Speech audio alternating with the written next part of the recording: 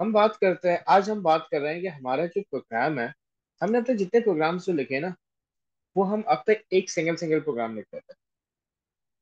हम अपने प्रोग्राम को डिवाइड कर देते हैं बेसिकली आपके मॉड्यूल्स के अंदर, जिसको हम कह सकते हैं कि आपके प्रोसीजर्स और आपके फ़ंक्शंस में आप बना देते हो। क्यों कर देते हो? इससे सबसे पहला फ़ायदा ये होता है, कोड की रीयूजेबिलिटी बढ़ जाती है।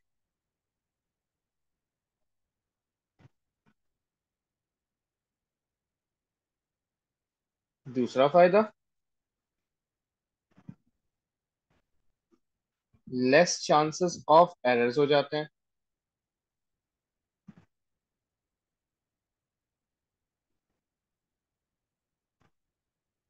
Can be tested and debug individually or easier to maintain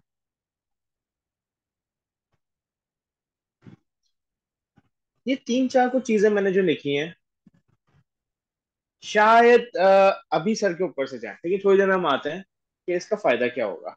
और इसके लिए मुझे अगेन किसी न किसी लैंग्वेज का हेल्प लेनी पड़ेगी ताकि समझा सकूँ। प्रोग्राम चला के। अब बात यह आ जाती है कि सर आपने प्रोसीजर्स भी लिखा है और आपने फ़ंक्शंस भी लिखा है। दोनों में फ़र्क क्या है? कोई बता सकता है? फ़ंक्शंस में एक रिटर्न वैल्यू थी जब आप प्रोसीजर्स की बात करते हो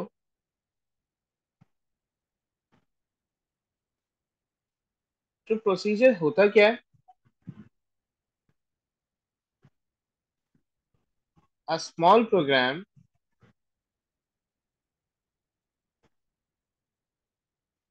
design to perform a specific task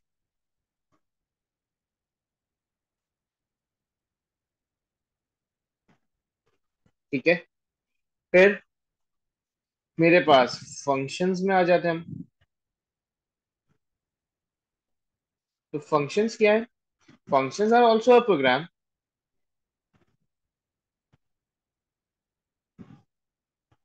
a small program design to perform a task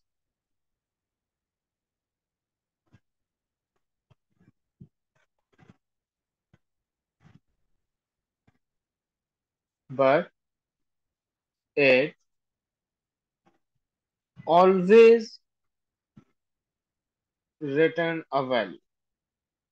आपके पास हमेशा वैल्यू रिटर्न में आती है यहाँ पर। तो उसकी वजह है। आपने मैथ्स के अंदर अगर फ़ंक्शन पढ़ा हो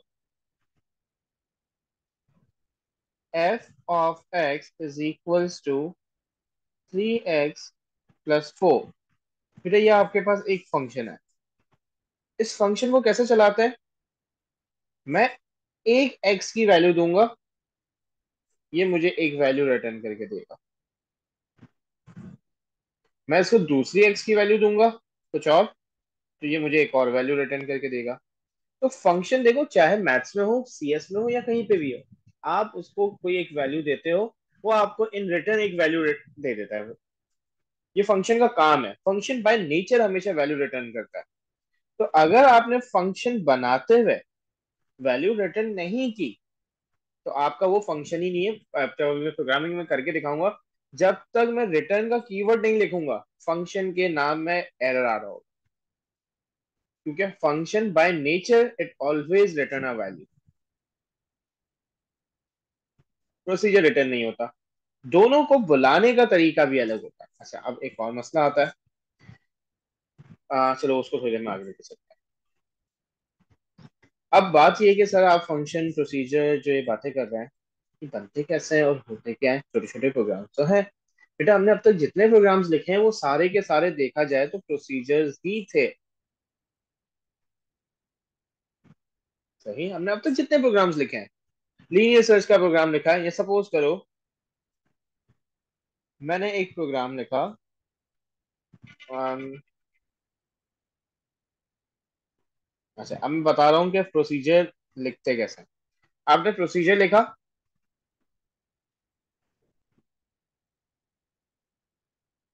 एड के नाम से। Bracket open bracket close this means कि यहाँ पे फ़िलहाल there are no arguments arguments कह लो या पैरामीटर कह लो। पैरामीटर का मतलब क्या होता है? जो वैल्यू पास होती है फ़िलहाल अभी हम इस पर बात डिबेट नहीं कर रहे अभी हम प्रोसीजर बनाना सीख रहे हैं। फिर हम आर्ग्यूमेंट्स और पैरामीटर्स पे भी आते हैं। पैरामीटर्स अगर आपको याद हो तो हम आ, अगर राइट का फ़ंक्शन लिखते थे जो बिल्ट इन था तो उसमें दिस कॉमा दिस दो दो पैरामीटर भेजते थे। याद है ये?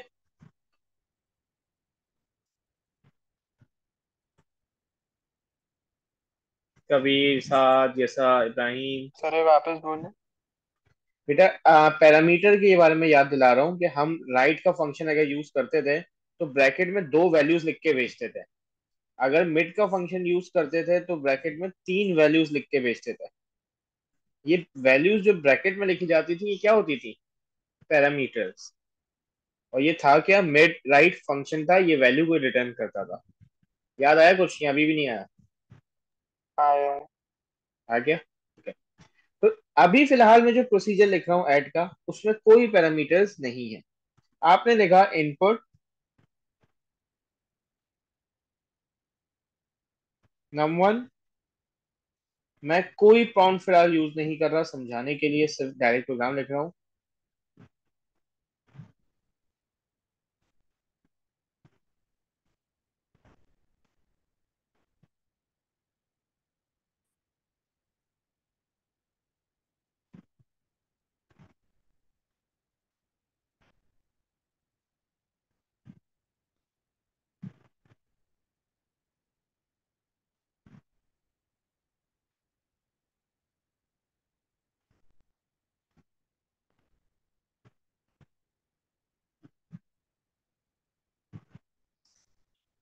हम ऐसा प्रोग्राम लिखते हुए आए थे। डिक्लेरेशन की इनपुट नंबर वन क्या नंबर टू किया सम क्या और आउटपुट किया।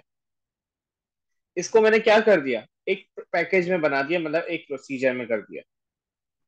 अब मुझे जब भी दो नंबर का एडिशन लेना होगा ना, मुझे इन लाइंस को लिखने की ज़रूरत नहीं है। मैं सिर्फ़ क्या लिखूँगा? मैं सिर्फ़ लिखूँगा कॉल किसको कॉल करना है? एड को। जैसे ही मैंने ये लाइन लिखी ऑटोमेटिकली मेरा जो कंप्यूटर मेरा प्रोग्राम है, वो क्या होगा? इन लाइंस को ले आएगा, खुद ले आएगा। सिर्फ़ एक दफ़ा लिखना है। बार बार उसको बुला सकते हो तो कोड की रीयूजेबिलिटी बढ़ जाती है। ये प्रोसीजर लिखने का तरीका है। आप नॉर्मल प्रोग्राम लिखते हो। आप नॉर्मल प्रोग्राम लिखने के बाद सिर्फ़ उसके टॉप पे प्रोसीजर प्रोसीजर का नाम, अगर कोई पैरामीटर है तो पैरामीटर को डिफाइन करेंगे, वरना इसको खाली छोड़ देते हैं। फिर क्या इनको डिक्लेयर करना होता है? इनको बेटा। ये जैसे आपने प्रोसीजर ऐड लिखा है उसको डिक्लेयर करना होता है क्या? नहीं नहीं नहीं नहीं नहीं ये ये प्रोसीजर का हेडर समझ लो उसकी डिक्लेरेशन ही है।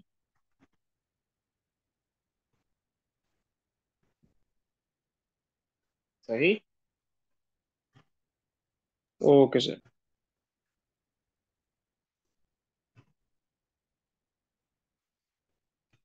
अब इसी को मैं थोड़ा सा प्रोग्रामिंग में चला कर दिखा रहा हूँ। उसमें कुछ चीज़ें तुम लोग को और ज़्यादा अच्छे से क्लियर हो जाएँगी, क्योंकि दो तीन चीज़ें मुझे बतानी है कि प्रोसीजर कभी चलता नहीं है जब तक उसको बुलाओ नहीं। मेन हमेशा एग्जीक्यूट होता है।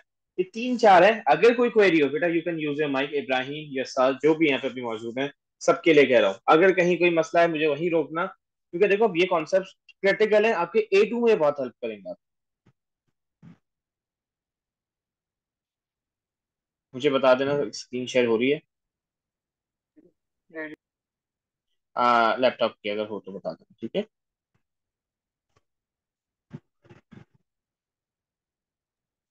हो रही है सर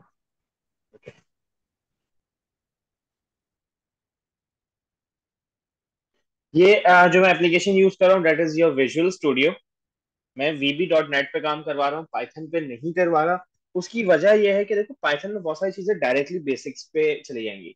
पाइथन में भी फ़ंक्शन प्रोसीजर्स होते हैं, उनको डायरेक्टली किया जाता है। यहाँ बहुत सारी चीज़ें ऐसी हैं जो आपके ओ लेवल में सूडो कोड्स में हेल्प करेंगी। तो इसलिए मैं यहाँ पे वीबी पे आपको करके दिखा रहा हूँ। फ़ंक्शन प्रोसीजर ऑनलाइन एस हम जितना काम करेंगे वो सारे का सारा कंसोल मोड पे होता है।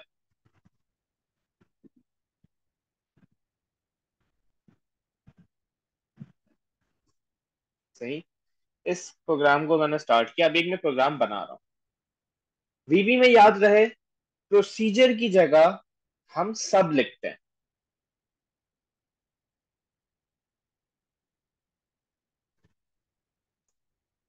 ये प्रोग्राम मेरा बन गया। फ़िलहाल मॉड्यूल्स छोड़ दो, क्या लिखा हुआ है? सब का मतलब क्या होता है? प्रोसीजर मैंने लिखा sub add bracket open bracket close उसमें मैंने कहा डिम डिम का मतलब होता है डिक्लेयर अभी सूडो कोड में हम डिक्लेयर लिखते हैं, क्योंकि यहाँ इसका सिंटेक्स मुझे इसका फॉलो करना पड़ेगा, इस वजह से ये लिखा। आपने डेम क्या क्या चीज़ें थी num one num two sum in as या एज आता है इंटीजर पाइथन के अंदर डिक्लेरेशन होती ही नहीं है। मैंने अब यहाँ पे ग्रीन में सूडो कोड लिखता जा रहा हूँ साथ साथ num one num two sum data type क्या है? इंटीजर कंसोल डॉट राइट का मतलब होता है आउटपुट मैं प्रॉम्प्ट साथ साथ आउटपुट कर रहा हूँ, इसलिए यहाँ पे ये चीज़ें आ रही हैं। ये बेसिकली क्या हो गया? मैंने लिखा है आउटपुट एंटर नम वन फिर इनपुट यहाँ पे दिया जाता है। पहले वेरिएबल का नाम आता है console dot read line read line का मतलब होता है इनपुट तो अगर सूडो कोड में लिखा जाए तो सूडो कोड में उसका मतलब है, मैंने ये लिखा है।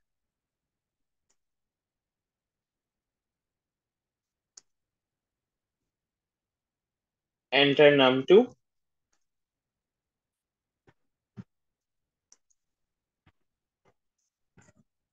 यहाँ तक चीज़ें क्लियर है?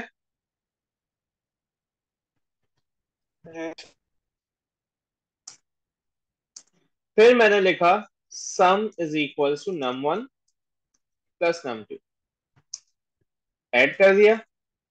Console dot write line sum of ये कुछ नहीं, हम सिर्फ़ सम की हेडिंग डाल देते हैं। Sum ampersand basically यहाँ पे आप जब सूडो कोड में लिखोगे तो आपने लिखा आउटपुट सम कॉमा सम ये लाइन एज इट इज़ है नहीं है इसमें कोई चेंज नहीं है।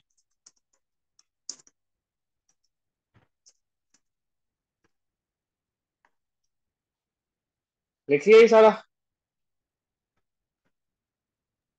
सब हमने भी लिखना है सर। नहीं नहीं नहीं नहीं नहीं मतलब समझा रहा हूँ। अच्छा अच्छा। सही है? ये आ, देखो लेफ़्ट साइड पे जो लिखा हुआ है प्रोग्राम है राइट साइड पे ये कमेंट करते हुए मैंने क्या लिखा है? सूडो कोड लिखा है। किसी को कोई यहाँ तक इश्यू तो नहीं है? नहीं सर। ओके अब मैंने यहाँ पे लिखा console dot write line hello world write line का मतलब क्या होता है?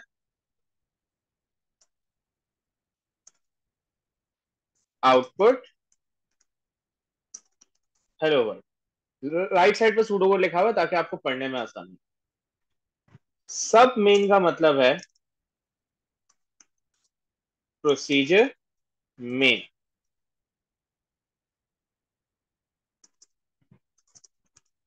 एंड प्रोसीजर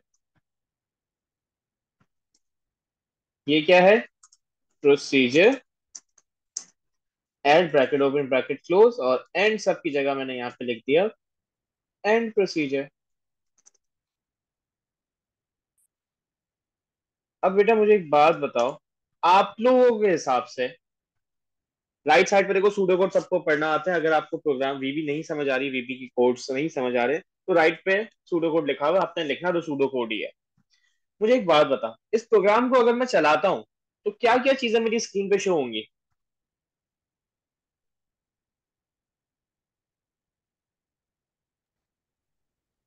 सर इसमें एक चीज़ नहीं समझ आ रही है आपने इनपुट से पहले आउटपुट क्यों लिखा है? आ, देखो ये मैसेज प्रिंट करने के लिए लिखा है। चलो एक सेकंड एक सेकंड रुक जाओ। इतनी मुश्किल में ना जाओ।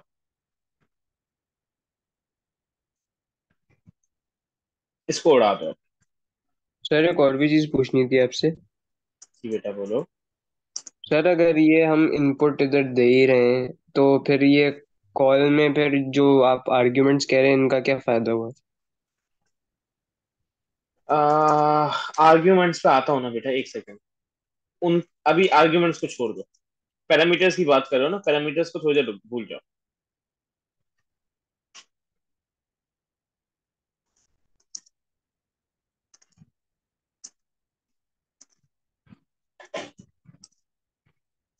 जैसा फ़िलहाल जो तुम पूछ रहे थे मैं उसका बात का जवाब देता हूँ आपको। आ, मेरे पास दो चीज़ें लिखी हुई हैं दो प्रोसीजर्स आ रहे हैं। एक प्रोसीजर में मैंने क्या आउटपुट किया है कबीर? हेलो वर्ल्ड और दूसरे प्रोसीजर में? दिस इज़ टेस्ट प्रोसीजर जब मैं इस प्रोग्राम को रन करूँगा तो मेरी स्क्रीन पे क्या आउटपुट होगा? रीड की लाइन को छोड़ देना। ये मुझे प्रोग्राम रोकने के लिए लिखा है। अगर मैं इस प्रोग्राम को रन करता हूँ तो क्या चीज़ आउटपुट होनी चाहिए? Hello world this is test procedure या दोनों?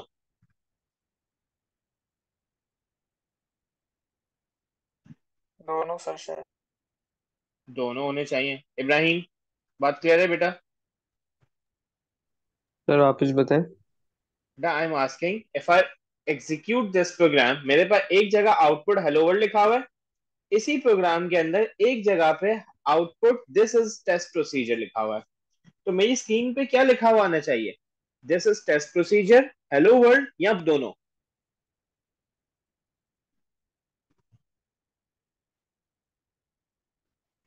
सर अगर दोनों को साथ एग्जीक्यूट करें। मैं ए, ये एक ही बेटा एक ही पैकेज बना हुआ है ना? ये एक ही हम्म। मॉड्यूल है ये एक साथ ही एग्जीक्यूट होगा। अच्छा सर ये मॉड्यूल वन के अंदर है सर चला के दिखा रहा हूँ।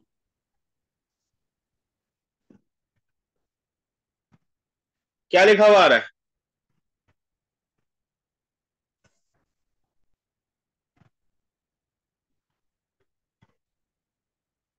बेटा काइंडली अपने हेलो माइक्स को ओपन रखो। हाँ hello world this is test procedure कहाँ गया? वो भी तो आउटपुट किया था मैंने। वो उसके उसमें नहीं होगा ना क्या नाम है? वो दोनों प्रोसीजर्स डिफरेंट है आई थिंक नहीं। कोई फ़र्क नहीं पड़ता प्रोसीजर डिफरेंट है। मैं एक और प्रोसीजर बना देता हूँ। Sub test two console dot write line this is second test procedure. Okay? अब वापस चलाता हूँ। क्या लिखा हुआ आ रहा है अभी अब भी हेलो वर्ल्ड आ रहा है। क्यों? ऐसा क्या मसला आ रहा है इसके साथ? बेटा, इसका सबसे बड़ा इशू ये आ रहा है। अब मैं मुझे ये चीज़ समझानी थी, वो मैंने तुम लोग को एडिशन वाला जो लिख दिया था प्रोसीजर उसमें कंफ्यूज हो जाते हैं। तो मेन तो मुझे तुम लोग को प्रोसीजर का बताना था। यहाँ पर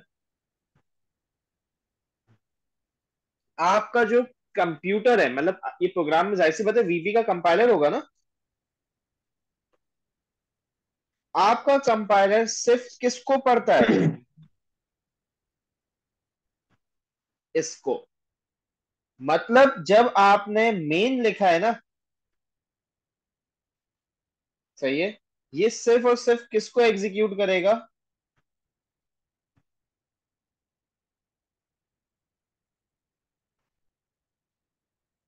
Main procedure is always executed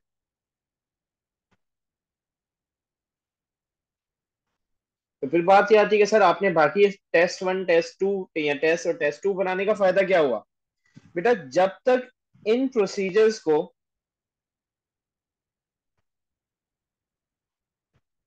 इसमें बुलाया नहीं जाएगा, बुलाने का मतलब कॉल नहीं करोगे, तब तक आपके ये इस बाकी प्रोसीजर्स में जो कुछ भी लिखा हुआ है, आपके कंपाइलर को उससे कोई फ़र्क नहीं पड़ता। मतलब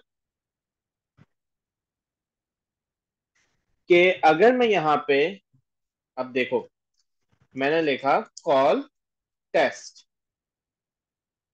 अब चला के देखो। आ गया?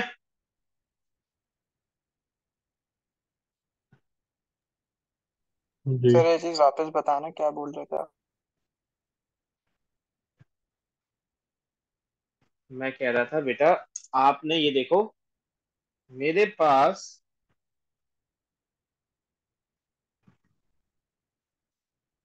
मेरा जो कंपाइलर है, वो सिर्फ़ किसको पढ़ता है? जो इन दो के बीच में लिखा हुआ होता है। इस दो के बीच में लिखा हुआ था कॉल कंसोल डॉट आइलैंड मतलब आउटपुट हेलो वर्ल्ड तो मेरी स्क्रीन पे क्या लिखा हुआ आ रहा था? हेलो वर्ल्ड लिखा हुआ आ रहा था। जैसे ही मैंने इसको कॉल किया किसको? टेस्ट को। तो अब ये क्या करेगा? मेन के अंदर कॉल किया ना तो ये टेस्ट को ढूँढने जाएगा। टेस्ट कहाँ पड़ा हुआ है? यहाँ पड़ा हुआ है। तो अब इस टेस्ट के अंदर जो कुछ है वो भी आउटपुट कर देगा। क्योंकि मैंने अब अगर हम मेन में टेस्ट वो भी डालते हैं हाँ। तो फिर आ जाएगा वो भी। Exactly exactly. क्योंकि अब तक मैंने इसको मेन में कॉल नहीं किया था। सर अगर हम इनका ऑर्डर चेंज कर दें तो भी ऐसे ही रहेगा या उसमें फिर चेंज रहेगा सब? जिस ऑर्डर में आपने कॉल करोगे उसी ऑर्डर में रहेगा। कॉल मेन के मतलब जिस ऑर्डर में कॉल करोगे। जैसे हम अगर सब मेन की जगह अगर आप सब टेस्ट पहले लिखते तो वो सब टेस्ट को हाँ। पढ़ता। हाँ नहीं नहीं नहीं नहीं वो पढ़ता सिर्फ़ इस नाम को है। मेन को। करके देखे थे ठीक है? देखो ऐसा इसी क्यों वजह होता से ऐसा क्यों होता है? क्योंकि मेन को ही हमेशा एग्जीक्यूट किया जाता है। ये कंपाइलर का काम ही है। सबको एग्जीक्यूट नहीं कर सकता वो। सही है? अब तुम्हारे हिसाब से क्या होना चाहिए? टेस्ट टू एग्जीक्यूट होना चाहिए और टेस्ट टू के अंदर मेन और टेस्ट को बुलाना चाहिए। ये मेन बेटा कीवर्ड है। आपने देखा था जब मैंने प्रोग्राम खोला था तो सब मेन ऑटोमेटिकली बाय डिफ़ॉल्ट लिखा हुआ था। याद है? ओ अच्छा सही सही। अब यहाँ पे देखो। अगेन टेस्ट टू वाले के ऊपर है लेकिन एग्जीक्यूट क्या हुआ? हेलो वर्ल्ड उधर। हाँ अब मैं अगर टेस्ट टू को यहाँ पे बुला लूँ। मैंने कहा कॉल बी बी का वो है ना कीवर्ड मतलब सूडो कोड्स में तो मेन वगैरह नहीं होता। अगर एग्जामिनर कभी बोल दे कुछ इस तरह का तो आपने बताना है उसको कि प्रोसीजर मेन सिर्फ़ एग्जीक्यूट होता है। ये एक लॉजिकल क्वेश्चन हो सकता है उसके ऊपर। सही है? एग्जामिनर नहीं मैं दे जी बेटा बोलो। वीबी और सूडो कोड्स में थोड़ा बहुत तो डिफरेंस होगा ही ना। मेन मेन ही होता है चाहे कोई भी लैंग्वेज हो। पाइथन के अंदर तो तो प्रोसीजर मतलब का मेन होता ही नहीं वो आप मतलब बाहर काम करो तो जी बेटा? मतलब ये हमने फॉलो करना है मतलब एक कीवर्ड हाँ मेन को देखना है। सब, अब देखो पाइथन में हम डेफ लिखते हैं सी में भी डेफ वगैरह लिख देते हैं हम। तो वहाँ ये कीवर्ड चेंज हो जाएगा। ब्लू में जो लिखा हुआ है, ये चेंज हो सकते हैं। ब्लैक वाली चीज़, ये जो मेन है ना, ये चेंज नहीं होगा। मेन मेन ही रहता है। जावा में भी मेन रहता है। सही है? और सर अगर हम मेन को हटा के कोई और नाम लिख दें जैसे आपने टेस्ट टू लिखा है हम टेस्ट थ्री कर दें तो फिर कुछ भी नहीं पड़ेगा।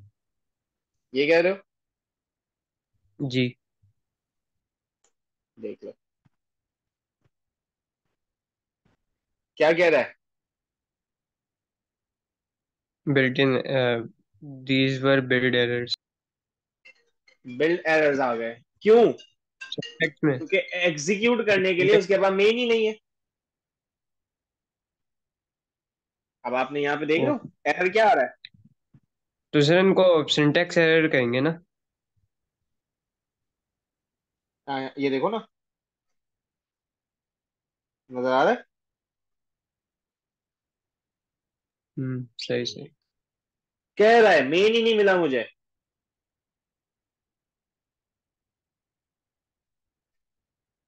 कह रहे प्रोसीजर समझ आ गया। कबीर योसा जी सर जी सर देखो यहाँ पे भी डिस्क सब मेन वाज नॉट फाउंड अब चलो उसको मेन वापस कर देते हैं मेन आ गया. अब हम चलते हैं हमारे बाकी आ, आगे पे कि प्रोसीजर्स को कॉल करने का आ, तरीका क्या था पैरामीटर अब तुम्हारी बात आ जाती है पैरामीटर मैं सब उड़ा रहा हूँ अभी.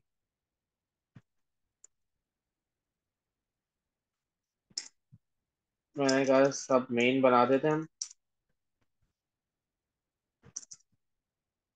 अब आ जाओ आप अपने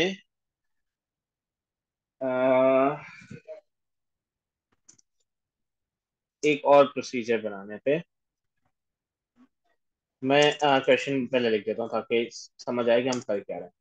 क्वेश्चन ग्रीन कलर से क्योंकि एक ग्रीन का मतलब कमेंट होता है कमेंट एग्जामिनर नहीं पढ़ता। The question is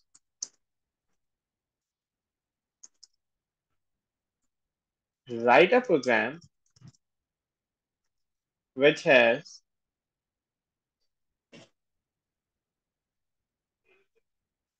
four uh, six mod, uh, modules. Yes six procedures or functions aap hi kar deta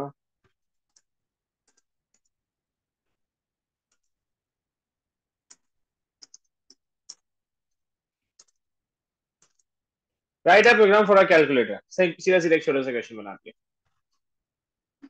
अब आप कैलकुलेटर में क्या क्या चीज़ें हो सकती हैं?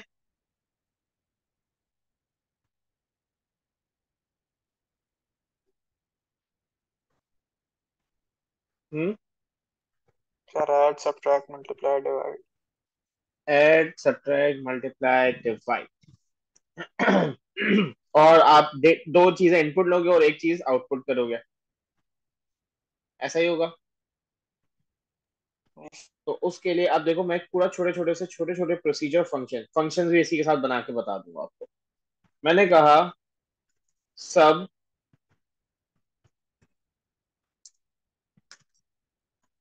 इनपुट नंबर्स उसमें मैंने कहा console dot write enter number one और नम वन अच्छा तो मैं एक सेकेंड या सर तुम्हारी एक चीज़ बता देता हूँ। तुम्हें तुमने कहा था कि सर हमने ये क्यों किया था? तो मैंने कहा dim num one as integer console dot write enter number one uh, num1 is equals to console dot read line. और यहाँ पे मैंने एक प्रोग्राम को रोकने के लिए कंसोल डॉट रीड की लगा दी। ठीक है? इस प्रोग्राम को चलाता हूँ। जैसा लिखा हुआ आ रहा है एंटर नंबर वन मैंने उसमें नंबर डाला। अगर मैं ये लाइन आउटपुट वाली कंसोल और राइट लाइन का मतलब आउटपुट था ना, ये हटा देता हूँ। ये प्रोग्राम मेरा चला। क्या हो रहा है? सर आप कुछ भी इनपुट कर सकते हैं नंबर वगैरह उसके अलावा। नंबर अभी भी नंबर ही एक्सेप्ट करेगा लेकिन वो मुझे मैसेज लिखा हुआ नहीं दे रहा। तो इनपुट से पहले मैं आउटपुट का मैसेज लिख देता था। हम लैंग्वेज के अंदर जब हम सूडो कोड में लिख रहे होते हैं तो हम उसको एक ही लाइन में कर देते हैं। हम कैसे लिख देते थे? सूडो कोड में हम ऐसे लिखते थे। Input enter number comma num one याद है? जी सर। तो बेसिकली यहाँ पे हमें अलग अलग करके लिखना पड़ता है। मैं आउटपुट अलग लिख रहा हूँ ये वाला और फिर इनपुट अलग कर रहा हूँ। कर मैं यही रहा हूँ। आप भले इस तरह भी लिखोगे एक्सेप्टेबल है। अलग अलग करके भी लिखोगे एक्सेप्टेबल है।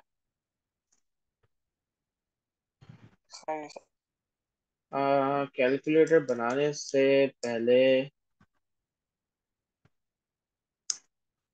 एक और चीज़ देख लो। साहब तुम्हारा पैरामीटर वाला जवाब भी मैं साथ ही दे दूँगा।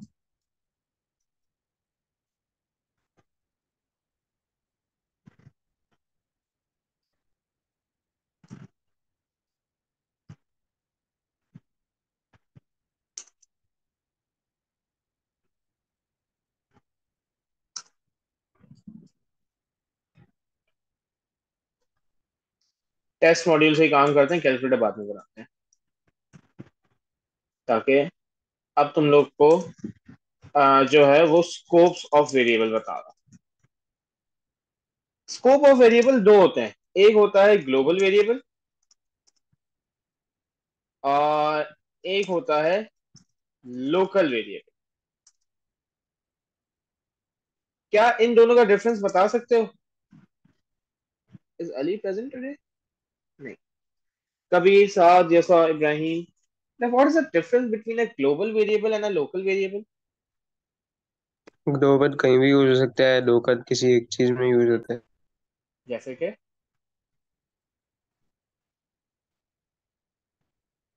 जैसे कि आप बता दें। समझाओ ना बोला सही है तुमने। सर थोड़ा बहुत बताया बट समझाना नहीं आता। बेटा, मैंने यहाँ पे डिम नेम एज स्ट्रिंग किया और यहाँ पे मैंने नेम की वैल्यू कर दी वासिक मोहम्मद वासिक ओके और यहाँ लाके मैंने क्या console dot write line name मतलब मैं एक काम करता हूँ माई नेम कर फिर इनके डेफिनेशंस वगैरह जरा दिखा दीजिएगा। हाँ मैं लिख पाऊँगा बेटा टेंशन नहीं लो क्या माई नेम आ रहा है? माई नेम के नीचे क्या आ रहा है यहाँ पे?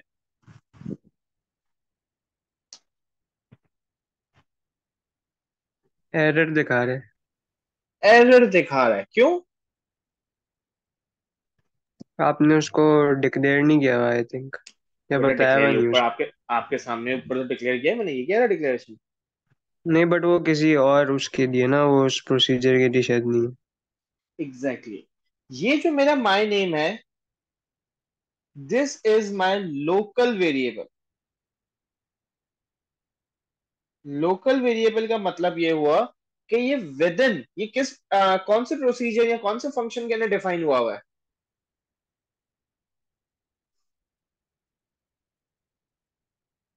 मेरे मेन के फ़ंक्शन में डिफाइन हुआ हुआ है, उसके अंदर है ना डिम जो है मेरा। मतलब ये my name is only access within main procedure. Why? Because it is a local variable. जब भी आपका local variable होता है that variable is only accessed within that vari uh, within that procedure or function मतलब मैं इसको यहाँ यहाँ कहीं भी यूज़ नहीं कर सकता अगर मैं माई नेम का वेरिएबल एक और यहाँ पे बना दूँ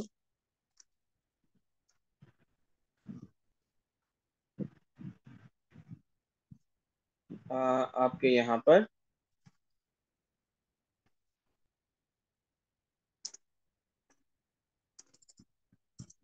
dim my name string. देखो एरर तो चला गया और यहाँ पे मैंने माई नेम की वैल्यू डाल दी. कंप्यूटर साइंस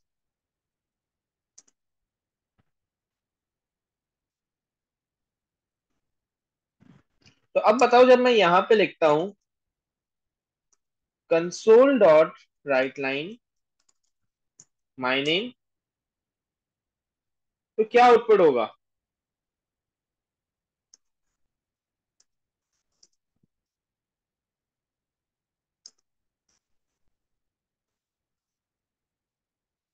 बेटा जब मैं आउटपुट करूँगा तो आउटपुट मेरी स्क्रीन पे क्या लिखा हुआ आएगा?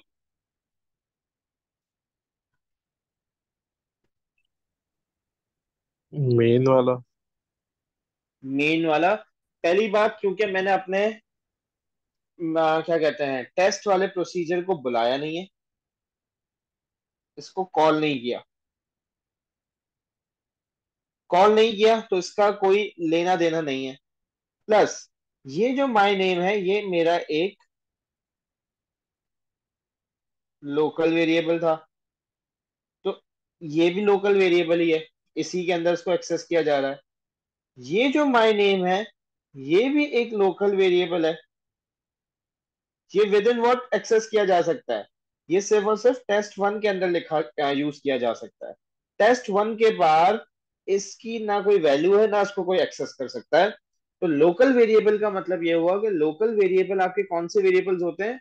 Which are only access within that particular module in which they are declare यहाँ पे हम ये लिख सकते हैं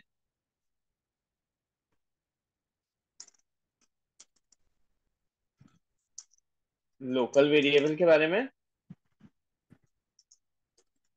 These variable are only access within a module in which they are declare और ग्लोबल कौन से होते हैं? These variables are accessed from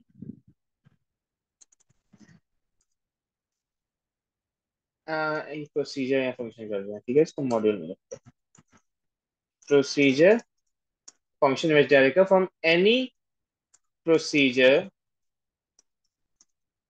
और फ़ंक्शन इन अ प्रोग्राम बेटा लोकल वेरिएबल के बारे में क्लियर आ गया कि within that module within that procedure काम करेगा। उसके बाहर नहीं काम कर सकता। ये चीज़ क्लियर है?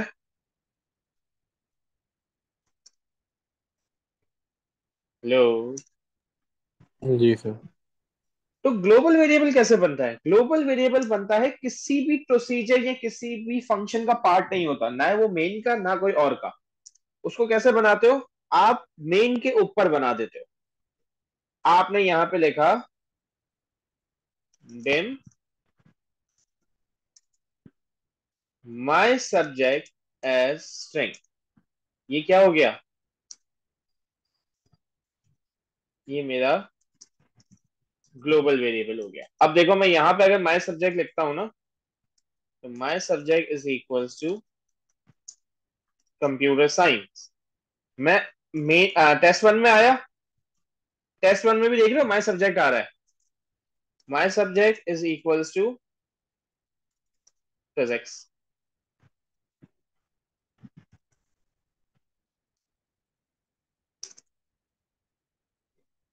global समझ आया? देखो ग्लोबल को मैंने डिक्लेयर कहाँ पे किया है? बाहर किया है। किसी का पार्ट नहीं है। यहाँ पे भी यूज़ कर लिया यहाँ पे भी यूज़ कर लिया। हाँ अगर मैं यहाँ पे आउटपुट करूँगा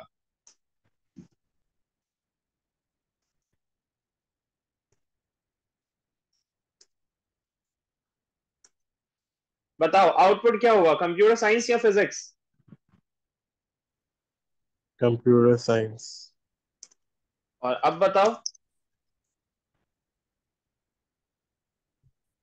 दोनों नहीं बेटा आउटपुट एक ही लिखा है तो एक ही आउटपुट होगा बताओ फिजिक्स होगा या कंप्यूटर साइंस होगा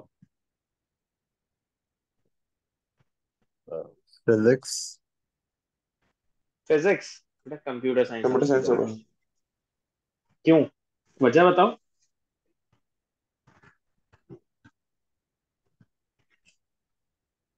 कोई वजह समझा सकता है कॉल एंड में होता है नहीं। अच्छा जब तुम कह रहे हो कॉल एंड में होता है तो बेटा आप यहाँ देखो। मैं यहाँ पे अगर आउटपुट कर दूँ ना,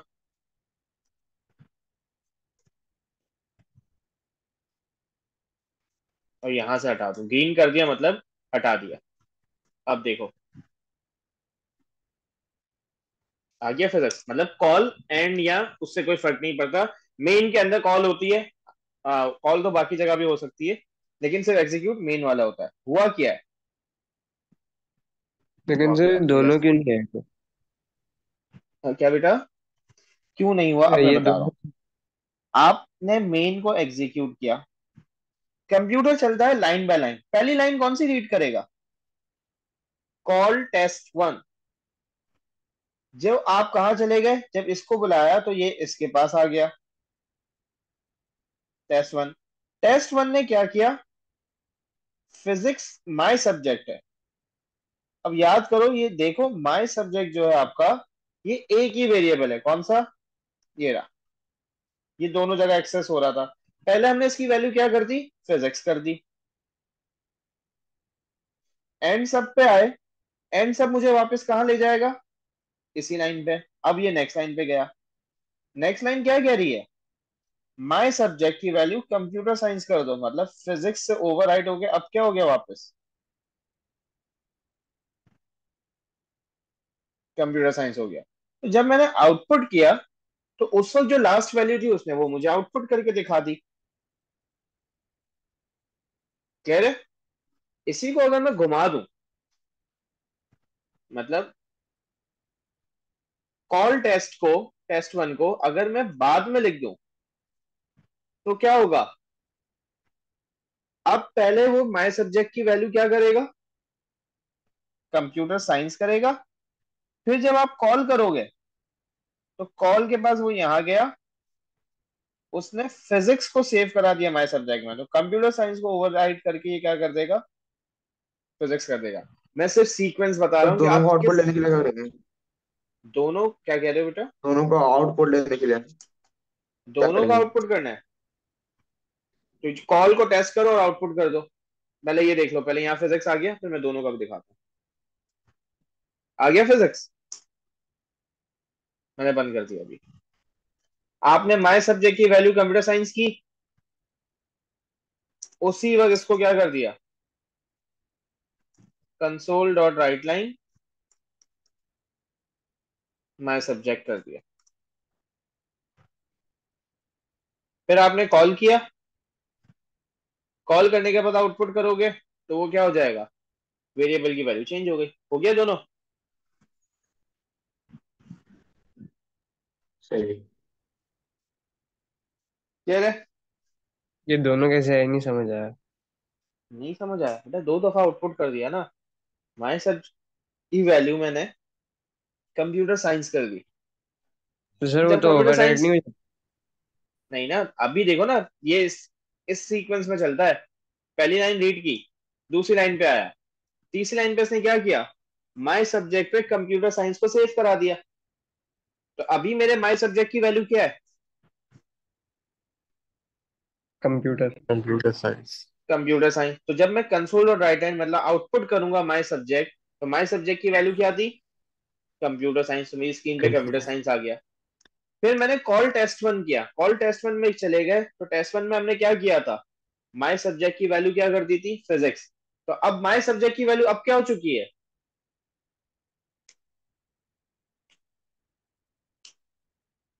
फिजिक्स हो गई है?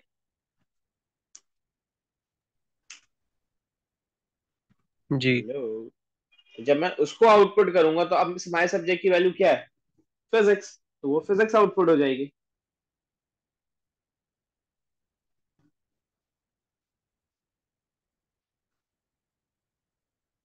क्या ये बात क्लियर है? जी। सर एक और दफ़ा बता। बेटा इसको सीक्वेंशियली देखो ना आप। सीक्वेंशियली का मतलब मैं यहाँ पे आया जब देखो एग्जीक्यूट तो यहाँ से स्टार्ट होगी। तो इसने पहली लाइन रीड की। पहली लाइन में क्या किया? कंप्यूटर साइंस को किसमें सेव करा दिया? माय सब्जेक्ट में। तो अब जब मैं आउटपुट माय सब्जेक्ट लिख रहा हूँ तो माय सब्जेक्ट की वैल्यू क्या थी? कंप्यूटर साइंस सही? फिर जब मैं यहाँ गया तो कॉल टेस्ट वन गया। टेस्ट वन क्या कर रहा था? माय सब्जेक्ट की वैल्यू मैं फिजिक्स को सेव करा रहा था। तो माय सब्जेक्ट की वैल्यू क्या हो गई? फिजिक्स हो गई। तो अब जब मैं यहाँ पे आउटपुट माय सब्जेक्ट करूँगा तो माय सब्जेक्ट की वैल्यू क्या है? फिजिक्स ये सिर्फ़ और सिर्फ़ क्या है? प्रोसीजर को कॉल किया तो उसने इस ग्लोबल वेरिएबल की वैल्यू चेंज कर दी। इसी वजह से हम ग्लोबल वेरिएबल बनाना अच्छी प्रैक्टिस नहीं समझते, क्योंकि इसको कोई भी एक्सेस कर सकता है विद इन अ प्रोग्राम तो इसमें वो प्राइवेसी के या कह सकते हो कि डेटा कॉन्फिडेंशियलिटी के जो होते हैं मसले आ जाते हैं वैल्यू में गड़बड़ आ जाती है। क्योंकि कोई भी, हर कोई इसको यूज़ कर सकता है। तो वो कोई भी, कभी भी इसकी वैल्यू चेंज कर देगा। तो हम ज़्यादातर तो कोशिश करते हैं कि हम लोकल वेरिएबल्स बनाए। प्रोफेशनल प्रैक्टिस की बात कर। रहा हूँ यहाँ पे तो जो एग्जामिनर आपको बोलेगा, आपको वो करना है। इज़ इट क्लियर अब जी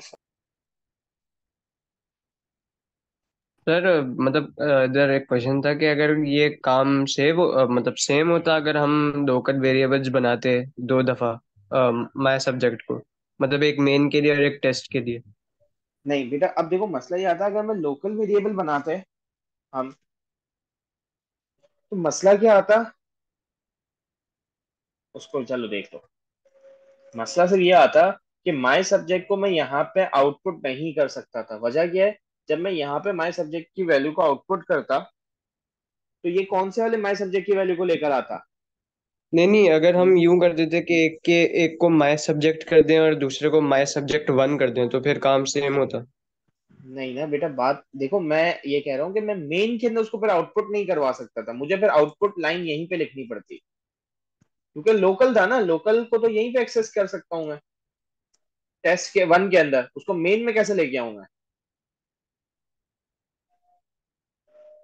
नहीं बात समझे? नहीं।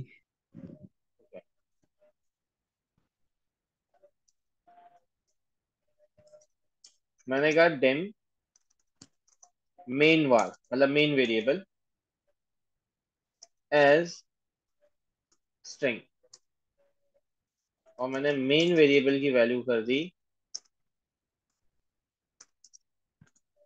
मेन प्रोसीजर ठीक है? इसको उड़ा देते हैं माय सब्जेक्ट को अभी। यहाँ पे तुम कह रहे हो, मैंने बनाया dim main var one as string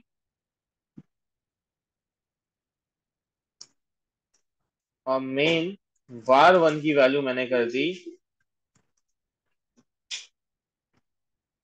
test procedure